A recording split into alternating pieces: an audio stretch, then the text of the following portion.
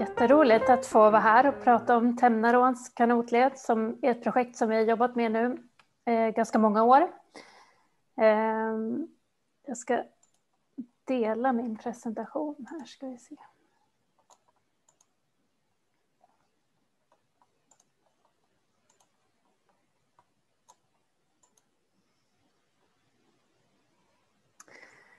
Så där hoppas jag att det ser rätt ut. Ehm, ja, men eh, Emelie Runfeldt heter jag då och jobbar som sagt på Upplandsstiftelsen. Ehm, för er som inte känner till Upplandsstiftelsen så jobbar vi med naturvård och friluftsliv eh, och folkhälsa och naturskola i Uppsala län. Vi eh, förvaltar ett 40-tal naturreservat och andra naturområden och vi är huvudman för Upplandsleden. Ehm, man kan säga att det som jag jobbar med är väl ja, men det går ut ganska mycket på att hjälpa människor att hitta ut i naturen och att försöka ge besökare en bra upplevelse när man är ute i våra naturområden och längs våra leder. Jag ska berätta om det här projektet som vi har jobbat med nu i flera år. Eh, och eh, den här presentationen kommer handla ganska mycket om hur vi jobbat med projektet, men det kommer också handla om eh, själva kanotleden då, lite hur det ser ut där ute och de olika etapperna eh, som vi har delat in kanotleden i. Och målet med det här projektet, det var ju, har ju varit att eh, eh underlätta för eh, kanotpaddlare att ge sig ut på Tämnerån.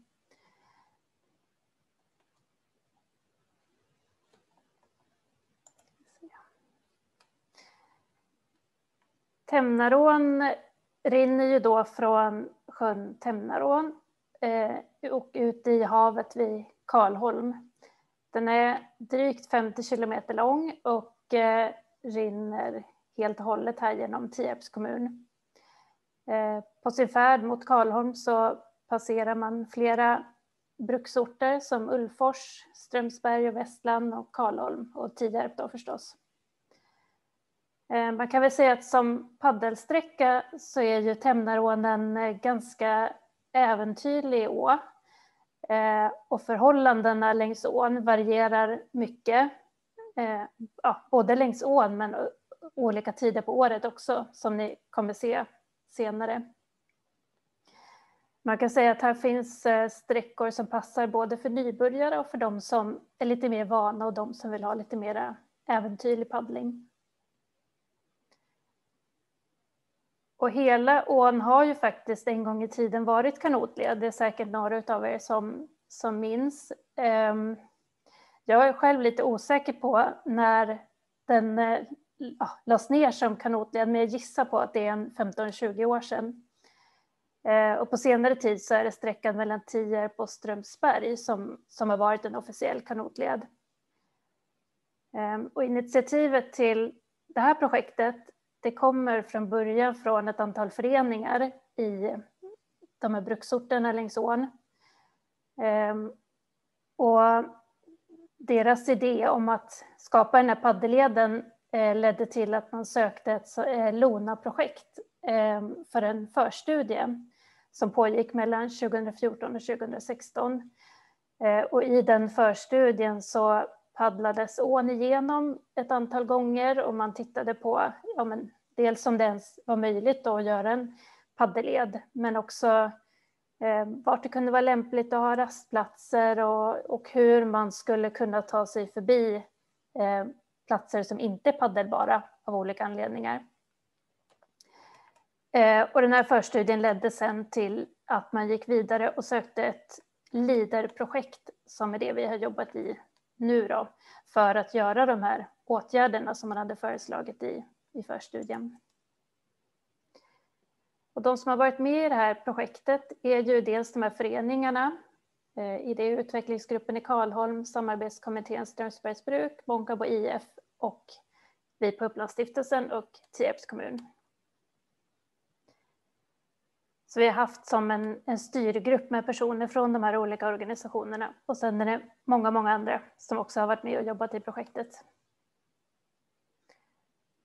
Och syftet med det här var ju dels, har ju dels varit att ja, ge lokalbefolkningen en eh, ny eller bättre plats för, för rekreation och friluftsliv. Eh, men också att eh, Eh, locka hit besökare, skapa ett attraktivt besöksmål som kan främja besöksnäringen, besöksnäringen som eh, inom mat, boende, kajakuthyrning. Och att skapa ett eh, varumärke för kommunen, någonting som man, man kan vara stolt över, en, någonting attraktivt i, i kommunen som kan locka hit turister och besökare. Vad har vi gjort då i projektet? Ehm, och först och främst när jag säger vi, så i det här fallet så är det främst en massa ideella personer som har jobbat otroligt mycket i det här projektet. Ehm, när man söker sådana här LIDER-projekt så lägger man in ganska mycket eh, ideell tid som medfinansiering och så får man motsvarande, eller ja, så får man en viss eh, summa pengar för det kan man säga. Eh, och vi gick in med 1300 ideella timmar i det här projektet eh, och de har vi fått ihop med råge tror jag att det blivit nu till slut. Ehm, sen har vi också haft en projektledare som har skött mycket av administrationen och eh, personer från Tierps kommun har jobbat både administrativt och praktiskt och jag har jobbat ganska mycket med administration också. Men det vi har gjort är att vi har varit ute och paddlat förstås flera gånger, olika tider på året, i olika väder. Ehm, och det vi har eh, sett är ju att ja, det är en ganska äventyrlig å och det är stora variationer som jag sa, både längs ån och olika tider på året eh, som har medfört vissa utmaningar. I förstudien som vi gjorde så var det största problemet, om man ska kalla det det, men den största svårigheten som, som kom fram var att det finns ganska många partier som inte är paddlingsbara. Eh, det kan vara dammluckor eh, det kan vara forsar eller grunda partier eller partier med väldigt mycket växtlighet som inte går att paddla igenom. Eh, så frågan blev hur ska man ta sig förbi de här partierna? Var kan man lyfta upp? Vart kan man sätta i? Hur transporterar man sig förbi de här hindren som finns längs vägen? Och en annan faktor är att längs stora delar av ån så ser kanterna ut så här att de är ganska branta och det är mycket vass och framför allt om man paddlar kajak så är det svårt att ta sig i land eh, längs de här stränderna. Så ganska snart kom vi fram till att en av våra största investeringar skulle bli att lägga i ett ganska stort antal bryggor för att underlätta då att komma i och ur ån. Och ingen av oss som jobbade i det här projektet hade väl egentligen någon erfarenhet av bryggor. Eh, så det tog ganska lång tid innan vi hade kommit fram till vilken typ av bryggor vi skulle ha eh, och hur de skulle se ut. Eh, men vi upphandlade ett företag i, som ligger i Söderfors som heter Marinbastun som framförallt gör såna här bastuflottar men de eh, kan bryggor också. Eh, så det blev en typ av brygga som är en flytbrygga som, med landgång till som eh, eh, sitter fast dels i land och sen med ankare på botten av ån. Eh, och de här bryggorna kan då, i och med att de är flytbryggor, följa med när vattnet rör sig upp och ner olika tider på året. Och de här bryggorna var ju inte bara att lägga i, utan eh, det behövs ju dels avtal med olika markägare. Det är framförallt privata markägare som har upplåtit sin mark för, för de här bryggorna. Eh, och sen har vi såklart sökt strandskyddsdispens och gjort anmälan till Länsstyrelsen om vattenverksamhet som man behöver göra när man ligger i bryggor också. Men nu ligger alla bryggorna på plats.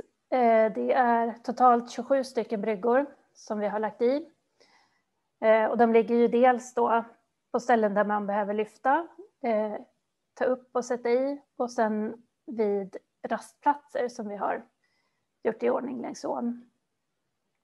Och de flesta av de här bryggorna är också de här ideella föreningarna som har jobbat med att lägga i.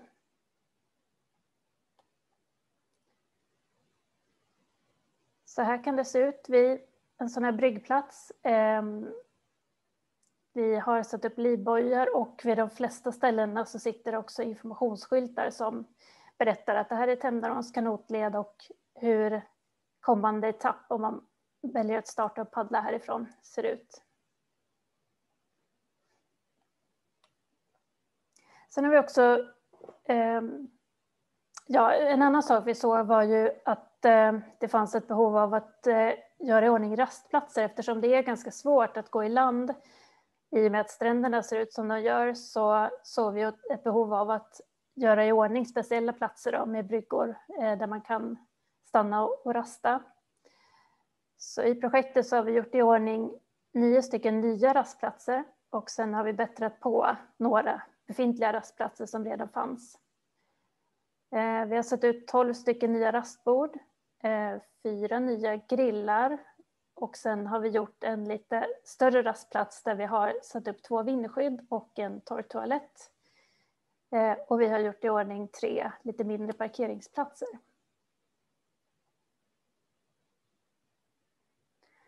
Här är några av dem, alla de som har varit ute och jobbat längs ån och vi har även haft entreprenörer som har ställt upp med tid och maskiner för att hjälpa oss ehm, på olika platser med bryggiläggning till exempel. Sen har vi jobbat ganska mycket med informationsmaterial. Ehm, och förutom de här informationsskyltarna då, som sitter ute längs ån så har vi jobbat mycket med den digitala informationen. Och där är det naturkartan som vi använder som primär informationskanal för, för informationen om Tämnarons kanotled. Vi har också tagit fram en liten folder med lite mer översiktlig information om de olika etapperna och en, en eh, översiktskarta.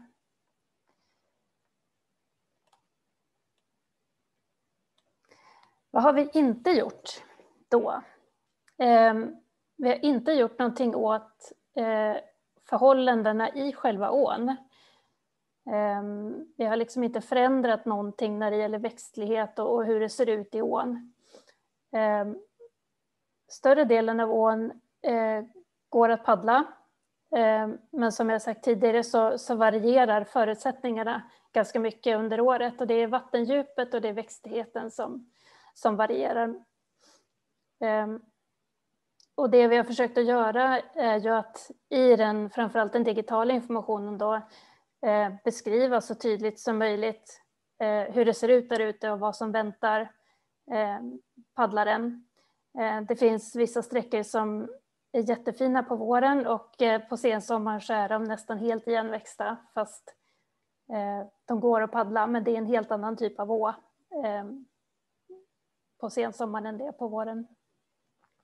Vi har också klassat de olika sträckorna som eh, lätt, medel eller krävande beroende på hur förutsättningarna ser ut. Dels med ja, hur ån ser ut och dels om det är långa lyft som det är på vissa sträckor.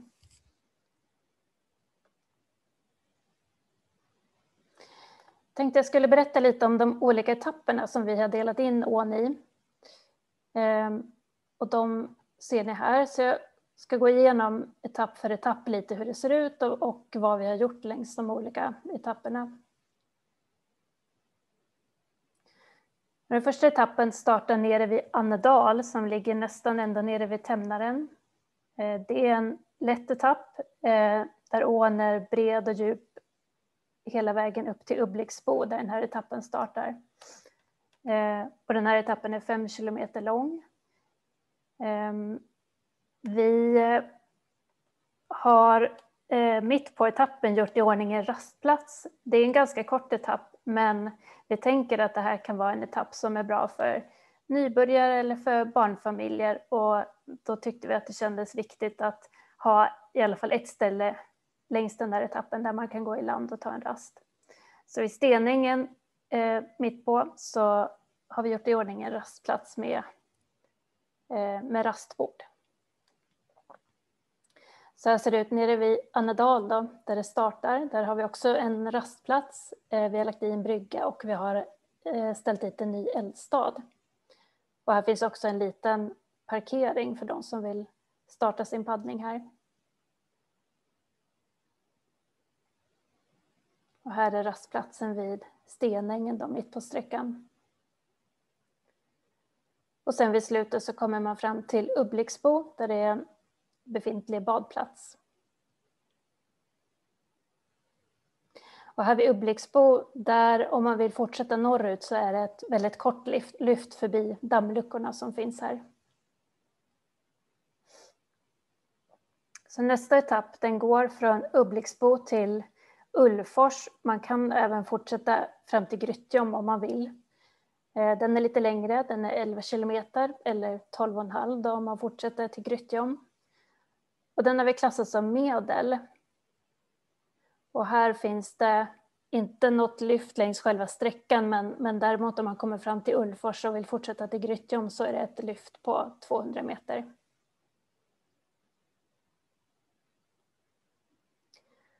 Och här kan man se lite, den här bilden är tagen nu i våras när det var väldigt högt vatten. Eh, lite längre fram i sommar så kommer den här bryggan nästan ligga på land. Eh, och det kommer vara fullt med vass runt omkring. Så, att, eh, så här kan förhållandena variera ganska mycket eh, på de olika platserna. Eh, det här är alltså bryggan där man ligger i efter badet i Ullfors. Och även längs den här sträckan så har vi gjort en ny rastplats vid Unnungeberg. Eh, här kan man också se lite skillnad på översta bilden som är tagen tidig vår och nedersta bilden som är, eh, jag skulle tro att den är från mitten av sommaren någon gång.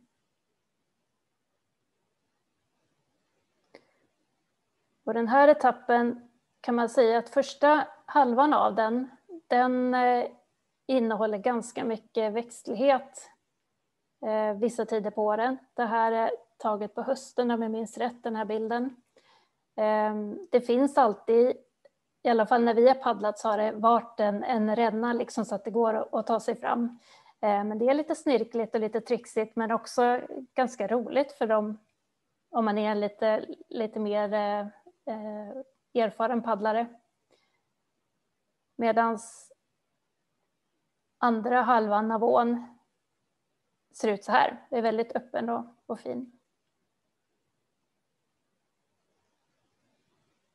Den här etappen slutar då vid Ullfors där det också finns en badplats. Eh, om man inte vill då fortsätta fram till, till Grytjom som ytterligare en, en kilometer längre fram. Sen efter Gryttjom så kommer en bit som vi har valt att inte ta med i kanotleden och det är mellan Gryttjom och Tierps kyrka. Eh, och anledningen till det är att det fanns ganska mycket eh, olika besvär, besvärligheter här som vi inte lyckades lösa helt enkelt. Bland annat när man ska lägga i vid Grytjom så är det en väldigt lång sträcka som eh, större delen av året inte går att paddla för att den är för grund och det är mycket växtlighet och vi, vi hittade inte någon möjlighet att ta sig förbi den här sträckan på land, landvägen. Så därför valde vi just nu att inte ta med den i kanotleden. Utan här är ett litet, upp, litet uppehåll fram till Tierps kyrka. Så här ser det ut bitvis där. Medan andra delar är ganska fina. Men nästa etapp då startar därför vid Tierps kyrka och går upp till Skämstabron i Tierp och den är fem kilometer lång. Och längs den där etappen så finns det ett lyft vid Fors.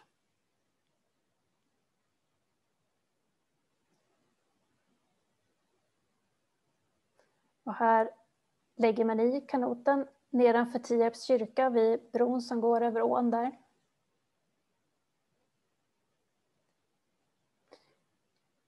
Här har vi också gjort en ny rastplats vid eh, Torslunda. Ehm, och här var det några boende i närheten som hörde av sig och eh, ville göra i ordning en rastplats här och det här är på kommunens mark och jag tror, om jag minns rätt, att det faktiskt har varit en rastplats här en gång i tiden. Ehm, så här har vi lagt i en brygga, satt ut ett rastbord och här är det de boende som bor där i närheten som kommer vara med och sköta den här platsen.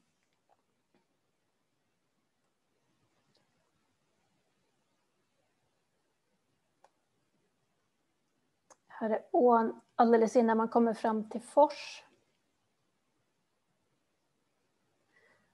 Och i Fors då så kommer det här lyftet eh, förbi den här bron där det är väldigt grunt och stenigt under själva bron.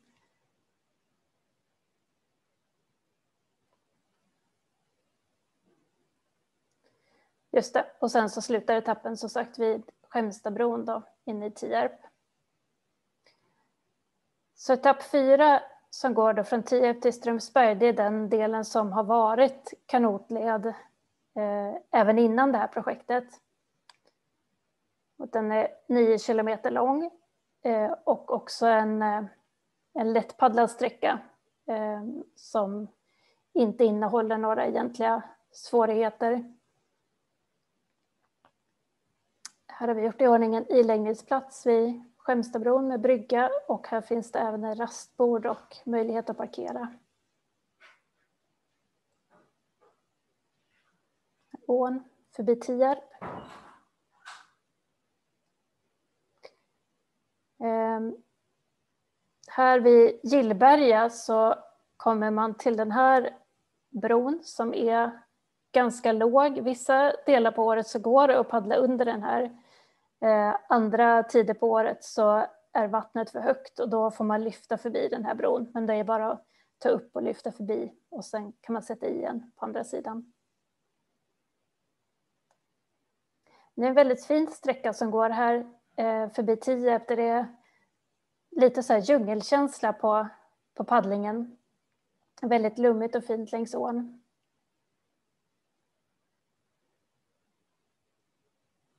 En bit innan man kommer till Strömsberg så finns det en eh, rastplats med en eldstad. Och i Strömsberg så avslutar man här på östra sidan av ån. Nu hoppade jag över ett ställe mitt på den här sträckan som är eh, Tolfta. Och det här är det stället där vi har byggt eh, den här lite större rastplatsen som jag nämnde i början. Eh, här har vi alltså satt upp två stycken vindskydd, eh, en eldstad och här finns även en torrtoalett. Och det ena av de här vindskydden är tänkt att man ska kunna övernatta i om man vill och det andra är med sittbänkar inuti. Ehm, och anledningen till att vi la den här rastplatsen eh, just här var väl att vi såg att det fanns bra möjligheter att bygga den här.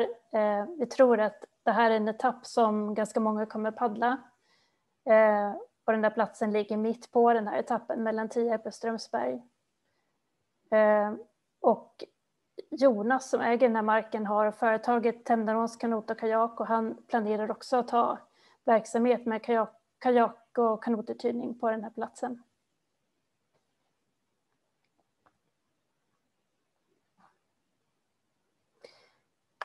Sen kommer eh, sträckan mellan Strömsberg och Västland som är den etapp, en etapp som vi har klassat som krävande. Eh, och det är lite olika anledningar. Bland annat så innehåller den två stycken lite längre lyft. Ehm, vissa tider på året så går det att paddla förbi i alla fall det första av de här, eh, de här lyften eh, medan andra tider på året så går det inte.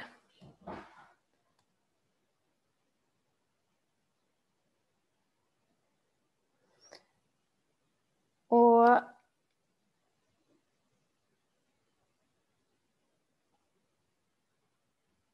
se om de här bilderna kommer i fel ordning. Här. Ja, eh, det första lyftet eh, har jag ingen bild på, men det är där det står Tegelbruksströmmen. Och här är det egentligen två stycken strömmande partier, Tegelbruksströmmen och Braxenströmmen, som, som man lyfter förbi. Och det är ett lyft på eh, 500 meter ungefär. där man får gå med kanoten på kanotkärra. Eh,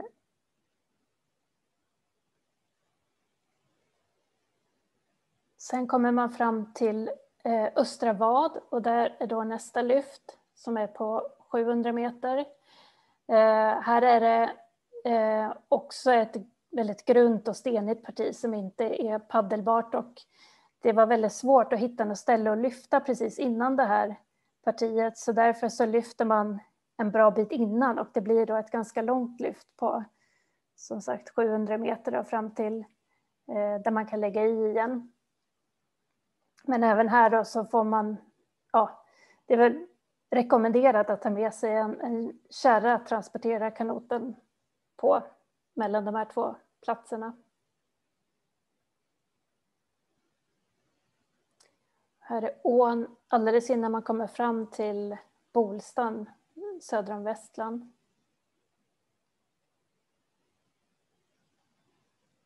Och här är då eh, etappen slut vid Bolstan eh, där man också får lyfta. Och om man skulle vilja fortsätta paddla norrut mot Karlholm från Västland så är det ett lyft på ungefär två kilometer här i Västland. Och vi tror väl kanske inte att så många eh, att så många vi, vi, har väl resonerat så här när vi, när vi eh, har planerat eh, de här paddeletapperna att vi, vi tänker väl att de flesta paddlar dagsturer. Sen finns det säkert vissa som tänker att man vill paddla hela ån och i sådana fall så, så är det ett ganska långt lyft här. Um. Men om man vill gå förbi här så går man längs grusvägar genom Västland och förbi Västlands kyrka upp till Stav eh, norr om Västland där man sätter i kanoten igen. Och sista sträckan går då från Stav upp till Karlholm. Och den etappen är 9 kilometer lång och den har vi klassat som medel för att den innehåller, den är mestadels ganska lättpaddlad och fin, men den innehåller även lite knepigare partier. Här har vi två personer som är på väg och ska lägga i bryggan här vid Stav då, där man lägger i. Det var inte alltid helt lätt att, för de som skulle lägga i de här bryggorna att transportera ner dem till den platsen där de skulle läggas i. Ehm, här vid Näs, ganska mitt på sträckan, så har vi också gjort i ordning en ny rastplats med ett rastbord. Här har vi ån mellan Snatra och Näs, en höst, höstpaddling. Eh, vid Snatrabron så ligger det också en brygga och här finns också eh, rastbord och möjlighet att, att gå i land. Och etappen slutar då i Bruksdammen i Karlholm. Och här i Karlholm så uppstod det lite ett projekt i projektet kan man säga.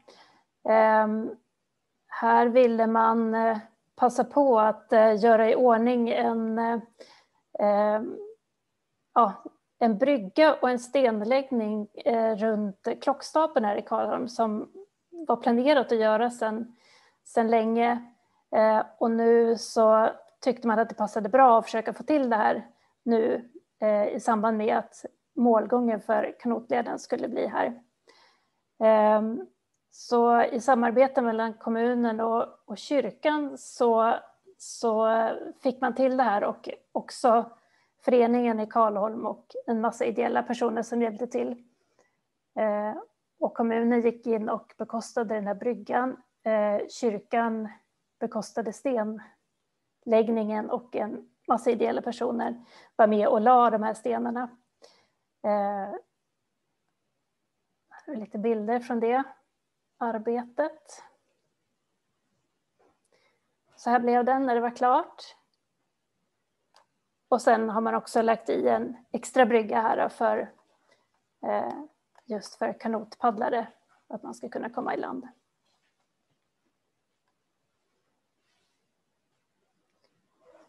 Jag tänkte avsluta med att eh, bara visa den här webbadressen till om man vill läsa mer om kanotleden så använder vi som sagt eh, naturkartan. Eh, och då går man in på naturkartan.se Uppsala län. Om man vill eh, läsa om kanotlederna så kan man söka på, Tem söka på Temnarån så får man upp både alla etapperna och alla, alla olika platser, rastplatser, parkeringsplatser och allt annat som finns längs de olika etapperna. Och så som vi hörde i början så vill jag ju också såklart hälsa er allihopa välkomna till invigningen av kanotleden som vi kommer ha den 5 juni. Eh, och den kommer vara på fyra olika platser samtidigt. Det är vid Annedal där, där kanotleden startar. Det är vid Tolftabro där vi hade den här lite större rastplatsen. Det är i Strömsberg och i Karlholm.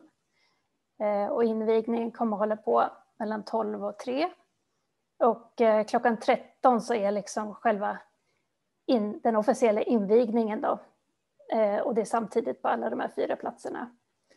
Eh, och man kommer kunna prova på att paddla, paddla kanot. Eh, det kommer finnas en liten tipsrunda och man kan ta med något och lägga på grillelden om man, om man vill det.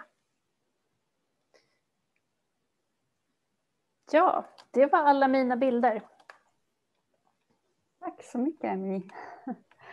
Eh, då ska vi öppna nu för frågor. Eh, och som sagt, man kan antingen ställa dem i chatt eller den Q&A eller um, använda den raise hands-funktion. Uh, jag kan läsa nu, eftersom det kom två frågor under tiden, så jag, så jag ska läsa dem. Hur djup är ån som djupast? Oj, ingen aning faktiskt. Det, jag tror inte att vi har kollat det. Men om jag skulle gissa så är det ju längs den där första sträckan från, från Annedal upp till Ubbliksbo som den är som djupast. Men eh, jag vet faktiskt inte. Jag vet inte om Gunilla har, har koll på det.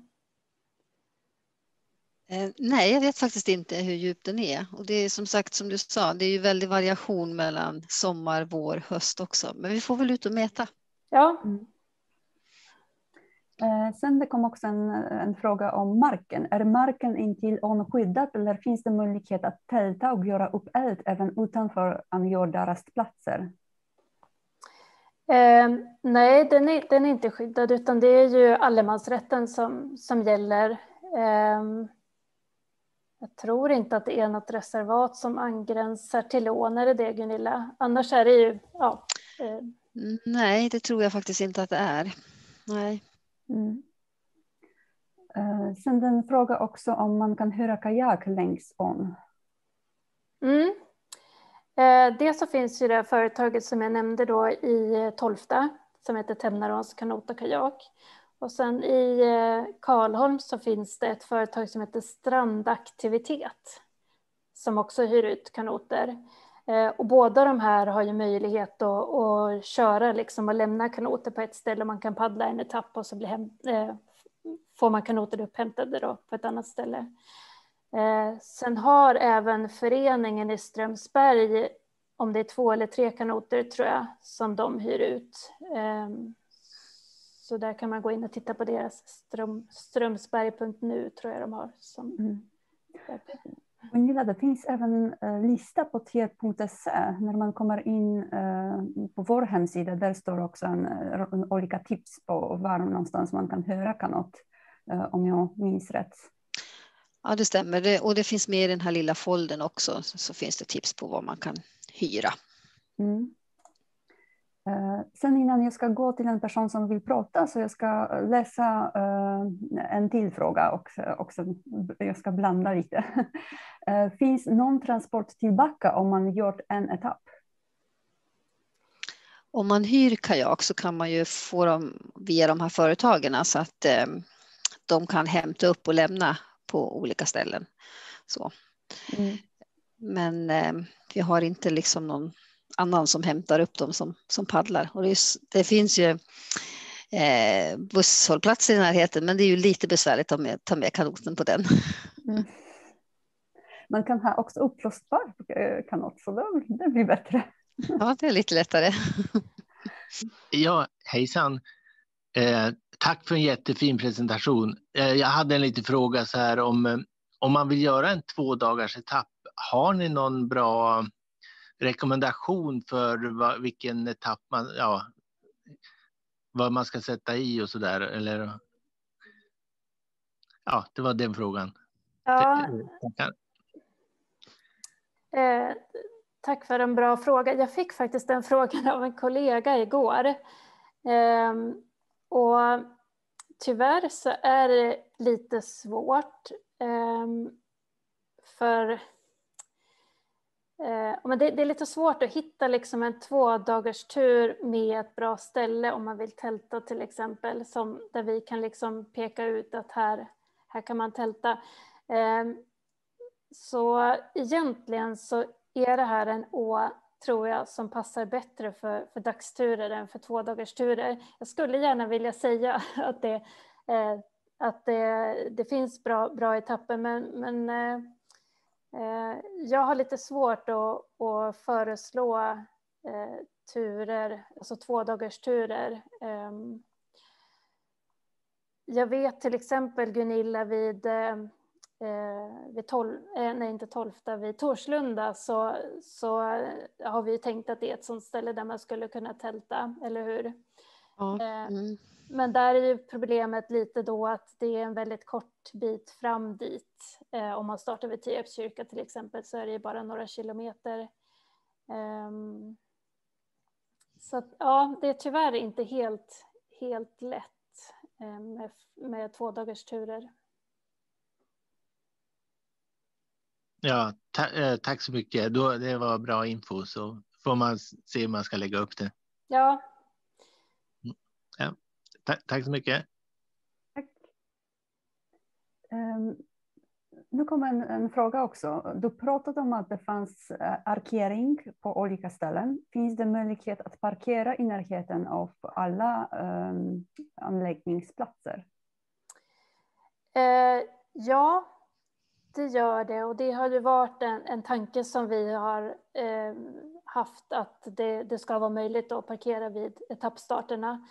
Sen är det lite olika hur stora de här parkeringarna är. Vid Annedal, då, den första, så, så är det två, tre bilar som får plats. Um, I Västland, där är det kyrkans parkering som vi, som vi hänvisar till. Um, ja, eh, men det står, om man går in i naturkartan så finns de här parkeringarna utmärkta och det står hur stora de är och vart de ligger och så. Men, men eh, ja, det finns vid, vid alla etappstarter på något sätt gör det. Mm.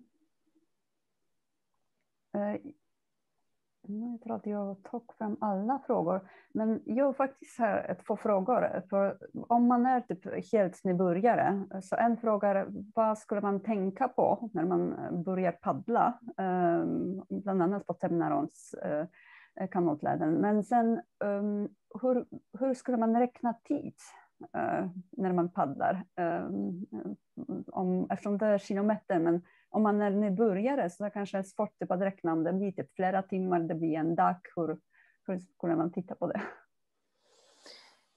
Um, ja, man börjar med det med tiden så beror ju det lite på vilken sträcka det är. Om man tänker um, paddelhastighet med en kanadensare så skulle jag säga att man kanske paddlar mellan, ja men säg 10 kilometer i timmen liksom i effektiv paddeltid. Mm. Um, sen om det är ett lyft längs sträckan så tar det ju mera tid förstås. Um, men med kajak brukar jag tänka um, mellan 15 och 20 kilometer i timmen så med kanadensare så går det lite långsammare. Sen vad man ska tänka på när man är nybörjare så Eh, Ehm, ja, men dels, det är ganska populärt att paddla i åar just på, på våren för att det, då är det lite växtlighet och eh, ehm, ja, men bra mycket vatten och så. Eh, det som är då är att det kan vara fortfarande väldigt kallt i vattnet eh, så att man, man tänker på säkerheten där med eh, ja, om, om olyckan skulle vara framme. Eh, så som nybörjare så skulle jag rekommendera att man, man kanske paddlar på sommaren ändå, när det är lite varmare i vattnet. Um, och sen att man väljer en, en sträcka som, som är en, någon av de här som vi har klassat då, som, som lätta sträckor. Och då tänker jag kanske på den här första sträckan som är ganska kort. En, en bra sträcka om man vill prova på första gången. Ehm, men även den här sträckan som går mellan Tierp och Strömsberg är ju en väldigt fin och, och lättpaddlad sträcka som är lite längre då, den är nio kilometer lång. Mm. Um, sen fick vi en, mm, precis en fråga.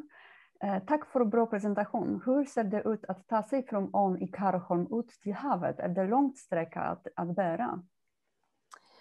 Eh, jag har faktiskt inte tittat på det, men jag var i Karlholm häromdagen och åkte ut mot havet och det, det är en bit, jag vet inte riktigt hur, hur man liksom går. Eh, det kanske Gunilla har bättre koll på. Jag har inte kollat det, hur, hur man skulle kunna ta sig från, från dammen ut till, till havet. Det är inte så lång sträcka. Du landar ju vid dammen i Karlholm och sen eh, får man gå över den stora vägen. Så kommer man ju till Vita magasinet och den lilla träkyrkan som är där. Och sen finns det ju en hamn där, så där kan man nog eh, kliva i. Det finns ju ingen, ingen Ja, det finns ju i och för sig bryggor där båtarna ligger, så där kan man ju gå ut i änden av en sån och lägga i. Och då är man ju ute i havet. Då paddlar man ut genom ån där och så har man hela stora havet att paddla på. Så det är inte speciellt långt, några hundra meter. Ja, men tack igen. Eh, jag tänkte bara höra, eh, finns det någon bra bed and breakfast så här på längdsträckan så om man skulle vilja stanna över natten och sen fortsätta nästa dag? Liksom? Eh, inte som jag känner till. Jag vet att det finns ett i Månkarbo, men det ligger inte riktigt vid ån. Eh, I övrigt så är det inte något som jag känner till. Det finns ett café i Strömsberg, men vad jag vet så har de inte övernattning. Nej. Ja, ja okej. Okay. Eh, tack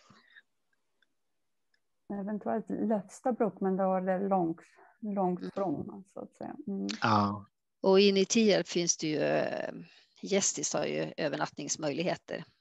Om man, det är ju en bit att gå då om man kan lämna kanoten vid, vid stranden så att säga. Men, men där finns ja. det i alla fall. Mm. För det, det är någon, någon, kilometer eller några kilometer att gå. Jag menar, det är ju inte ja, en och en halv kanske max. Ja, mm. ja, det är inte så farligt. Nej, nej någon som tipsar faktiskt här att det finns en boende i Strömsbergsbruk via RNB. Eh, Airbnb. Ja, nej men precis. Jag, jag har faktiskt tittat, tittat själv lite privat och sett att i Västland så finns det också via Airbnb eh, privatpersoner som hyr ut eh, stugor och rum tror jag. Eh, jag faktiskt kom på en fråga när, jag, um, när du visade de olika bilderna under sommaren är det verkligen jättemycket växt, växter så att det är svårt typ, att ta sig eh, igenom eller det är ganska brett typ, eh, att paddla. Ja, men det är också väldigt olika, men bitvis som, som på den här sträckan då från eh, eh Ubbliksbo till Ullfors. Eh, första halvan där så är det väldigt mycket växtlighet. Mm. Det är mycket, mycket vass, men, men det finns liksom en smal kanal, kanal som slingrar sig fram genom vassen så, så att det går att paddla.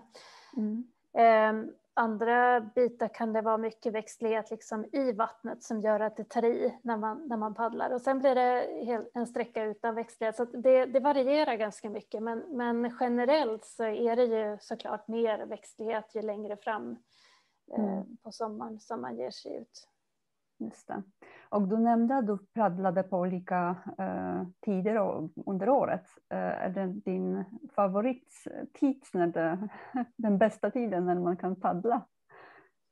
Men våren är ju väldigt fin för att det är mindre växtlighet. Samtidigt kan den vara lite knepig om det är mycket vatten, att det, att det strömmar på ganska bra vissa sträckor också. Nu var jag ute och paddlade i höstas eh, och det var otroligt fint. Vi var ute i september, oktober kanske det var till och med. Eh, så att, eh, eh, men jag skulle säga vår och höst då, även mina. Inga myggor och väldigt fint ute i naturen. Ja, det var också den nästa fråga. är det många myggor under sommaren? Jag ska vara ärlig så har jag nog faktiskt inte paddlat så mycket just i mitten på sommaren. Jag har nog mest varit ute vår och höst eh, när jag har varit ute och inventerat. Så att, eh, men jag skulle väl gissa att det kan vara en del myggor på sommaren.